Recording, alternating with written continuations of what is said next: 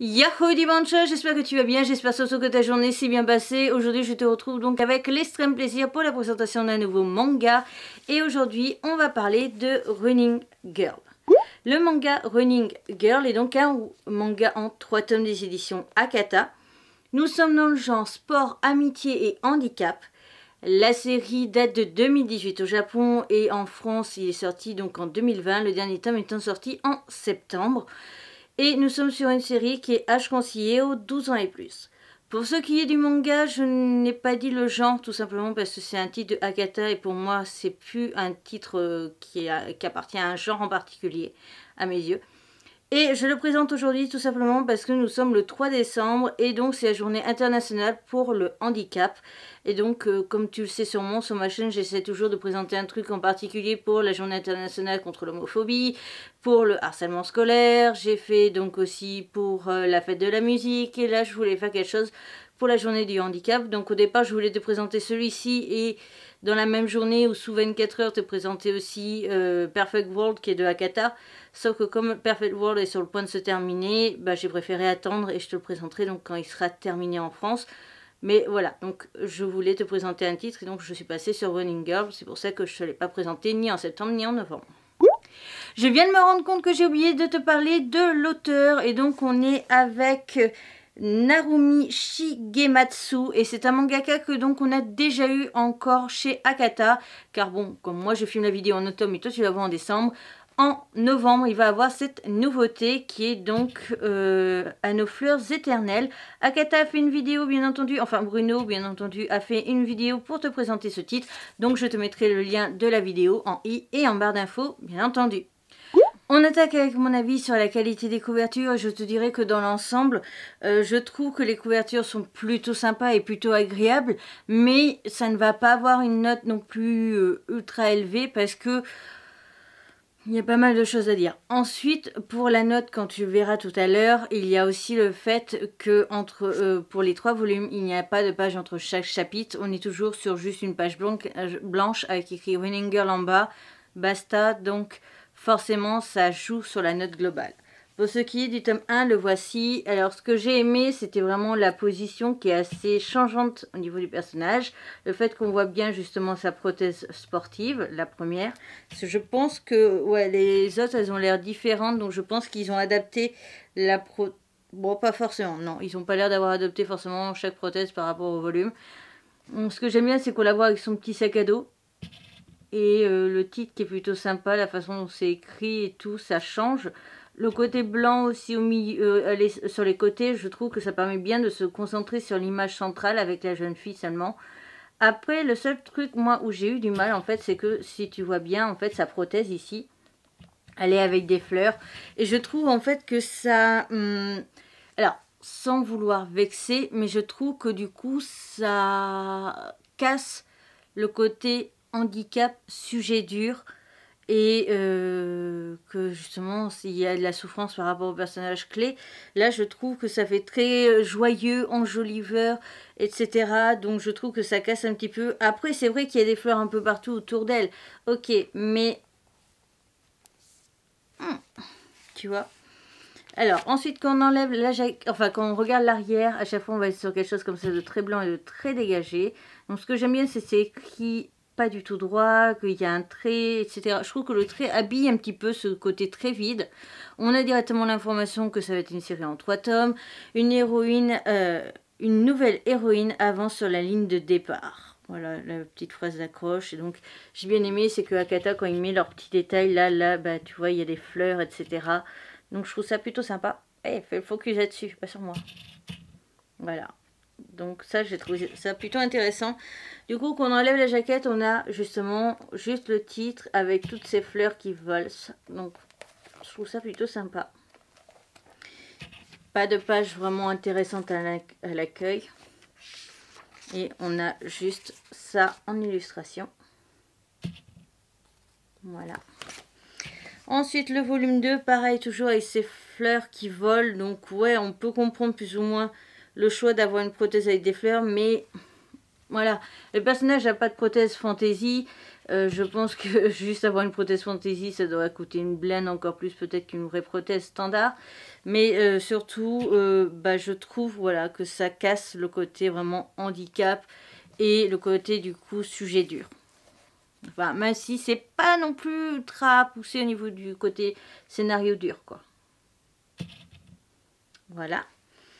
Et pour terminer, on va avoir le volume 3 et son bandeau que j'ai vraiment apprécié d'ailleurs. Alors, on va d'abord parler du bandeau. On est avec... Alors, la phrase d'accroche, n'oublie pas que tu es maître de ton destin, un manga recommandé par Tiffen Soldé, athlète des Paralympiques catégorie élite. Donc c'est une jeune fille qui fait partie et qui a le même handicap et qui a eu la euh, apparemment je crois la même façon dont elle a perdu sa jambe que le personnage clé de la série. Et la jeune fille a fait une interview avec euh, justement Bruno des éditions Akata. Donc je te montre le bandeau d'un peu plus près. Voilà. Et à l'arrière, on a la pub de, trois autres mangas des éditions Akata.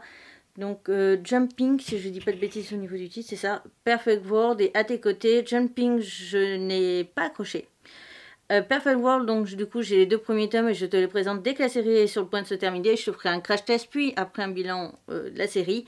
Et on a à tes côtés, donc j'ai acheté le tome 1 et j'attends un petit peu pour pouvoir le lire. Voilà. Pour ce qui est du volume 3, je l'ai trouvé plus intéressant du coup au niveau de la couverture. Parce qu'on était là par contre sur un, côté plus sérieux, plus... Voilà. Elle est dans une tenue un peu Jeux Olympiques. Elle est euh, du coup avec surtout les petits traits en fait autour. J'ai aimé parce que ce n'était pas des fleurs et j'ai préféré même son, sa prothèse un côté plus sérieux par rapport au scénario que le côté floral que personnellement je n'ai pas du tout apprécié. Je voulais juste voir si... Ouais voilà. Celui-là qu'on enlève la jaquette du coup il n'y a pas de fleurs, il y a bien les fameux traits. Voilà. Donc on attaque à mon avis sur la qualité du dessin. Je te dirais très clairement que la qualité de dessin n'est pas oufissime, mais elle n'est pas non plus très simpliste. Euh, comme par exemple chez Akata, euh, Adieu mon utérus ou Mon père alcoolique et moi.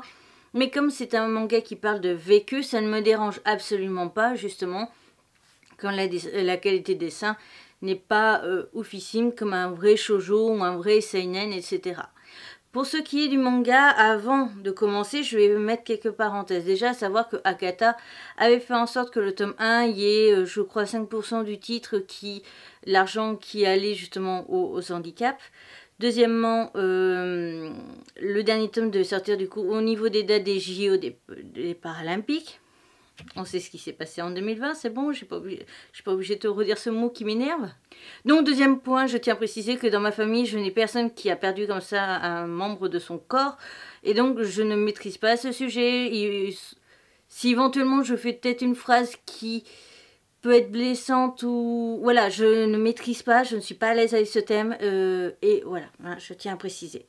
Euh, on suit les aventures d'une jeune fille, on la voit au niveau de sa rééducation, elle s'est fait donc amputer de la jambe droite et euh, elle est en train de se faire rééduquer au niveau de sa jambe et de l'apprendre à marcher avec une prothèse. Malheureusement, la jeune fille ne veut pas enlever sa béquille euh, parce qu'elle se balade aussi avec une béquille parce que bien entendu elle a trop peur et c'est une sorte d'assurance, hein, j'ai envie de te dire, d'avoir une béquille et de se dire bah, au moins avec ça j'arrive plus facilement à marcher et donc de ne pas vouloir justement euh, marché sans. Toujours est-il, on suit donc les aventures de cette jeune fille et elle va être emmenée par, euh, justement, je crois c'est euh, le kiné, voir un stade où il y a d'autres personnes qui sont dans le même cas d'elle, donc qui ont perdu une, voire deux jambes et qui font des courses. Et, donc, et c'est là que tout va commencer. La jeune fille va se rendre compte et va se réveiller mentalement et se rendre compte que oui, tu as une prothèse, mais oui, tu es encore vivante. Oui, tu peux encore faire des choses. Oui, tu peux courir comme tout le monde au final. Et c'est ça qui est quelque chose de beau. Et le message du manga est très intéressant et plutôt passionnant. Par contre, à savoir qu'au niveau du scénario et du développement de l'histoire, personnellement, j'ai été énormément déçue, comme pas mal d'abonnés qui me suivent sur mon Discord. D'ailleurs, petite pub, du coup, je te mets le nom de mon Discord ici et tu l'as de toute façon depuis un petit moment en barre d'infos. Mais donc sur mon Discord, on en a discuté avec trois abonnés et les trois étaient plutôt mitigés. Enfin, non, deux filles, pardon, abonnées, plus moi on était tous les trois mitigés par rapport à la fin. Parce que, en tout cas pour moi, euh, donc, euh, moi personnellement j'ai été un petit peu déçue parce que je m'attends... Alors, 3 tomes, je trouve que c'est trop court. Il a fallu au moins 5 tomes, honnêtement, pour bien développer le manga. Je trouve que le truc est allé trop en expéditif et c'est un petit peu dommage. Pour ce qui est du scénario, euh, l'histoire est plutôt intéressante, mais voilà, on n'a honnêtement pas eu le temps de développer le caractère trop des personnages, à part la fille clé. On n'a pas eu le temps de trop développer la relation entre les personnages, etc. Donc c'est un petit peu dommage. Pour ce qui est du scénario, honnêtement, oui, je me doutais un petit peu que trois tomes, ça allait être un petit peu bizarre et ça allait être pas suffisant. Mais j'aurais aimé que l'histoire aille plus loin, que l'histoire développe plus la chose, que l'histoire euh, parle beaucoup plus. Mais voilà, donc honnêtement j'étais déçue pour la fin, d'où le fait que, en tout cas aujourd'hui moi je vais le mettre à revendre, ça c'est sûr, parce que j'ai été déçue. J'ai aimé, mais j'ai été déçue. Je suis contente de l'avoir lu, mais ce n'est pas un truc que je relirai de moi-même, de mon plein gré, etc. Donc voilà, après, par exemple, si je dois le relire parce que pour une vidéo plus tard, dans 5-10 ans, je compte faire une vidéo 100% sur les mangas handicap et qu'il y en aura eu plein parce que peut-être que les maisons d'édition seront réveillées, qu'on peut parler aussi de ce genre de choses et que il faut que je relise parce que ça sera pas assez mûr dans ma tête pour, le, faire une vidéo bien construite, oui, je le relirai. Mais sinon, de moi-même, pour ma propre relecture, etc., non, il ne fera pas partie des mangas que j'ai envie de relire. Voilà ce que je sous-entendais. Toujours est-il, l'histoire est quand même plutôt sympa. Moi, je te conseille quand même de la lire. Si tu peux la trouver d'occasion, c'est quand même mieux parce que, voilà, je pense que toi aussi, tu seras déçu par la suite. Donc, en ce qui concerne l'œuvre, je redis, j'ai aimé, mais il manque quelque chose. Voilà. Donc c'est tout en ce qui concerne le manga. Je te mets bien entendu ma petite note à côté de moi pour que tu puisses un peu plus te guider par rapport à ce que j'en ai pensé. Et je te laisse avec la fin. Cette vidéo est donc à présent terminée, j'espère de tout mon cœur qu'elle t'aura plu. Si c'est le cas, n'hésite surtout pas à me le faire savoir en like, en commentant ou même partageant cette vidéo. N'hésite pas à me dire justement si tu as lu ce manga, ce que toi tu en as pensé. Est-ce que justement tu as été déçu toi aussi ou est-ce que toi par contre tu l'as apprécié? N'hésite pas à me dire si ce manga t'intéresse ou pas. Je t'invite bien entendu à aller voir mes deux précédentes vidéos Akata que je te mets en recommandation, à cliquer sur ma tête de panda pour t'abonner si ce n'est toujours pas fait. Ici tu as le lien de mes réseaux sociaux et donc du coup je te rajoute aussi le lien de mon Discord si jamais le cœur t'en dit de me rejoindre et de rejoindre donc ma Pancha Family. Je te retrouve donc bientôt pour une nouvelle aventure et n'oublie surtout pas de sourire quoi qu'il arrive. Bye